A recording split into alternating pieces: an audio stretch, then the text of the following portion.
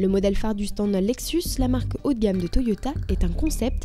Il s'agit d'un véhicule compact 5 portes hybride. Son nom, LFCH. Ligne sportive, intérieur high-tech, de ce prototype découlera d'ici 2011 une version de série. Elle aura pour mission de concurrencer les Audi A3 ou encore BMW série 1. Si son look reste tel quel, elle devrait faire des ravages.